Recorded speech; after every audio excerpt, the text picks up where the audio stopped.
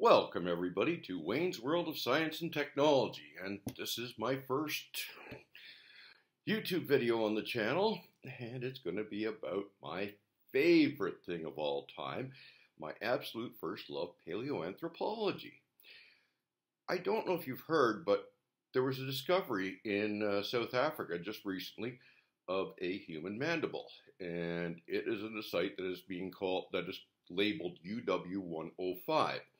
UW stands for the University of Witwatersrand, and the uh, dig is being overseen by Professor Lee R. Berger, the same guy who found uh, Homo naledi and Australopithecus sediba.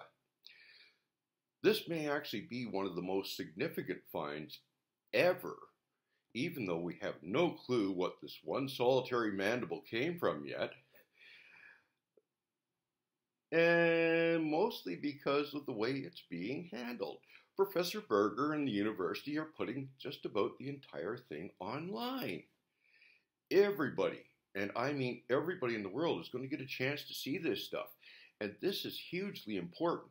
Most people have no idea what's going on uh, with uh, fossils. I mean, like, hey, if you're not into paleoanthropology, you wouldn't necessarily know. But it's the sort of thing people should have an idea about. And so, hey, I'm doing this video to help promote uh, Professor Berger's and the university's videos, which I will link to at the bottom. I'm also going to recommend this book uh, called Magaliesberg and the uh, Cradle of Humankind.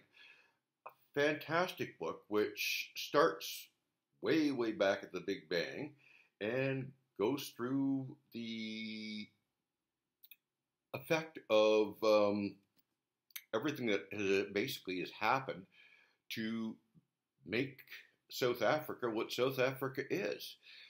Um, there's, just for an example, I wondered for a long time why they weren't finding anything older than 2.1 million years old in South Africa. And the reason is simple the cave systems didn't form till then. So there was nothing to find. Uh, in the Rift Valley, for example, you're finding stuff on the surface as the surface erodes, which is both harder and easier. You don't have to crawl around in all these deep, dark caves and uh, hopefully not getting any uh, rocks landing on your head. But at the same time, stuff that's uh, in caves is actually easier to work in a lot of ways because if you've got one fossil in a cave, you know, the odds are really good that there's another one there, and another one, and another one. In every single cave site they found in South Africa, they have that has had one hominin fossil, they found others.